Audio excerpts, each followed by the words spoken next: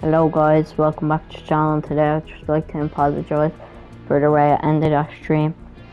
Um, I didn't mean to uh, do that.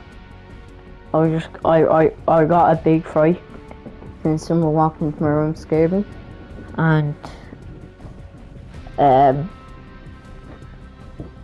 it wasn't because I said zero people watching and I think it was something to do with my mic.